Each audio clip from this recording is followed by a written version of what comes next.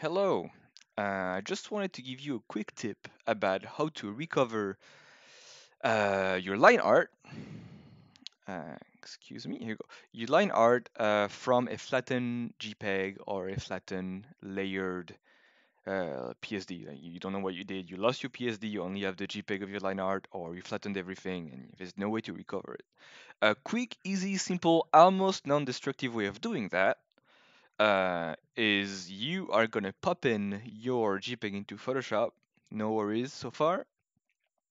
Gonna open the channels on the uh, on the right here. Uh, probably sure you can find them here. Uh, and you're gonna select that tiny cir- dotted circle line. And what's gonna do? It's gonna select everything that is, uh, I think, not white. So everything that is not pure white is gonna select. And then you're just going to invert your selection, Control Shift I, or again, select and inverse. Going to create a new layer and we're going to fill it. And that gives us our line art back. And as you can see, it kept pretty much the texture exactly. Uh, let's compare, compare to the slightly darker, but you know, most of the texture is here. Uh, it's non-destructive, almost non-destructive. Of course, it's still a JPEG, so there has been compression compared to PSD. But uh, after that, you should just be able, you know, to for people who like to color their lines, you know, you'll be able to uh, do those kind of things, those fancy things.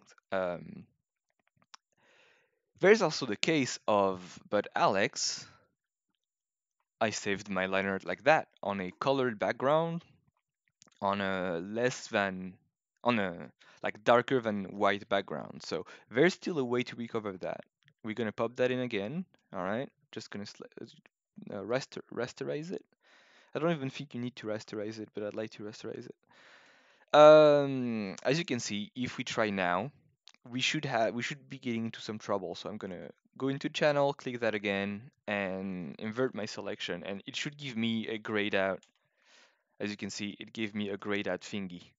Uh, that's because my base wasn't white, the background wasn't white, and so we considered that a lot of it was information. Uh, so as you can see, if I'm trying to uh, to erase on that, like that gray is actually part of the our line art, so we don't want that. A simple way to solve that, that may be slightly more destructive, uh, is to pop back into channels again and try to identi identify the one that is the the brightest. In that case, it's red. So if I press on red, I have a I have basically all the red that is taking off. And because it's way brighter, we can go back and press our tiny magic circle, invert it. Uh, we can go back on all channels now. And if we do that again, here we go. It should be clean. There shouldn't be any. Let's try with a, a brighter color. There shouldn't be any. Yeah. Any like uh, noise or anything. It should have kept your texture. It should be pretty clean. In the off chance that you have uh, you've actually like let's darken that even more. You know, like this is what you have. Well, first of all, you're asking for trouble just saving uh, your line arts like that. But you know, uh, I'm not one to judge. Here you, we can have we're gonna have to go the destructive way, uh, which is not gonna be that destructive. But first, let's try to identify if there's a channel that might be brighter eh, you know, honestly, at that point, you're pretty much forced to first we'll uh, desaturate it. So Control Shift Q to put it to put that layer in, in gray, and then Control L to open your levels. And then what we're gonna have to do is uh, we're gonna have to do it, you know, a little bit dirty. Uh, so I'm gonna exaggerate as much as I can. You know, um, basically you want to try to pop almost on or past that uh, that big spot. That's where you white, you know, that's where your white is going to be perfectly white. And we kind of want to, we don't want it too dark because then it's going to eat our texture. So we want it, you know, we want it just slightly like that. I think that's actually perfect. Uh, we do that and we do our good old routine again. Select new layer, Control Shift I to invert, and we'll fill it in in in green. And here we go you know, let's put it in black and white.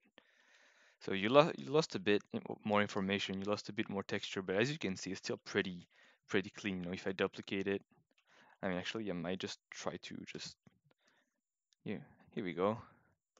It's still pretty clean. Uh, that's it for me. Just wanted to, to share that because I feel like uh, not a lot of people know that. It's an easy way to to get back your, your line art. Have a good uh, have a good day. Have a good life.